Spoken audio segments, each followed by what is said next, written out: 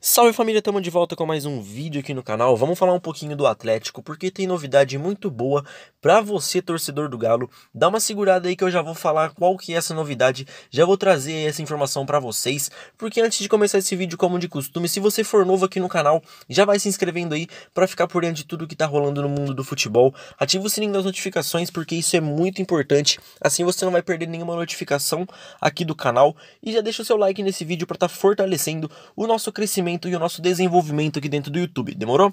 Então chega de enrolação, vamos começar esse vídeo, vamos falar um pouquinho do Galo, vamos falar qual que é a novidade. Como todo mundo sabe, o Otero estava emprestado lá para o Alweda desde o ano passado e no dia de hoje ele se reapresentou ao Atlético Mineiro e foi uma das principais novidades aí do grupo neste início da intertemporada. A volta do venezuelano foi muito celebrado pelos colegas de Galo. O Otero, como todo mundo sabe, estava emprestado desde maio de 2018 ao Alweda, lá da Arábia Saudita, onde ele entrou 26 vezes em campo e marcou 6 gols. O Aleda não, não exerceu o direito de compra do atleta. Primeiramente, o clube tinha que pagar cerca de 2,5 milhões de euros, que foi pelo empréstimo que o Galo cedeu ao clube. Uma segunda parcela da transferência definitiva do jogador, também neste valor de 2,5 milhões de euros, deveria ter sido paga até o dia 31 de março deste ano. Porém, é, o clube árabe acabou não pagando essa quantia. É, os árabes alegaram que a desistência da compra foi devido à saída de um investidor que participaria dessa negociação com o Galo.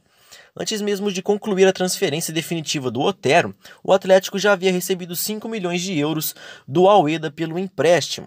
O Meia tem vínculo com o Galo aí até dezembro de 2020. Ele foi contratado lá em julho de 2016 e atuou 101 vezes pelo Galo, marcou 21 gols. Então ele é um jogador muito importante aí para a equipe do Atlético e o Galo vai ganhar aí mais esse reforço é, na volta para Copa da Copa América aí, né? O Campeonato Brasileiro tá parado.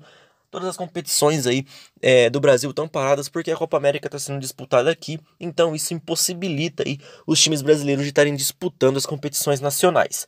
Então, é, quando voltar aí é, o Campeonato Brasileiro, a Copa do Brasil, enfim, o Galo vai ter aí uma boa, um bom reforço para estar tá adquirindo aí no seu elenco, né, mano? O segundo semestre do Atlético já começa com uma pedreira, mano. Será iniciado com um clássico contra o Cruzeiro já pela ida das quartas de final da Copa do Brasil.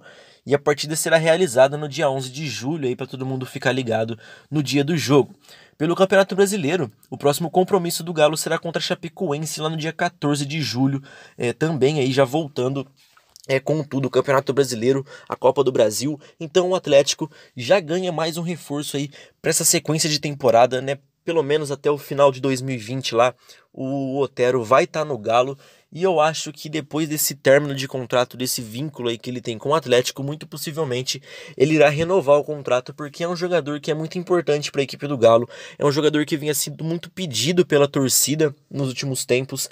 É, eu vi muito aqui no canal a torcida pedindo a volta do Otero e essa volta se concretizou, né, para alegria de todos os atleticanos. O Almeida não exerceu o direito de compra que tinha ali ao final do contrato, então o Otero tá voltando e é um reforço a mais, mano. O Otero, como todo mundo sabe, é um batedor de faltas excepcional e é aquele jogador que tava faltando pro Atlético ali, pro Atlético tá exercendo um futebol ainda mais bonito que já vem jogando, mano. Então, na minha opinião, o Galo ganha muito com a chegada do Otero, ganha mais um reforço de peso aí pra temporada temporada e espero que tudo saia bem, tudo saia certo com a volta do Otero aqui no Galo. Se você curtiu essa notícia, se você torcedor do Galo curtiu essa notícia, já vai deixando o seu like nesse vídeo porque isso ajuda demais no nosso, na nossa divulgação, no nosso crescimento. Se você for novo aqui no canal, já se inscreve também e ativa o sininho das notificações, porque assim você vai ficar por dentro de tudo que tá rolando no mundo do futebol, demorou? O vídeo vai encerrando aqui, um grande abraço, fiquem com Deus e até o próximo vídeo.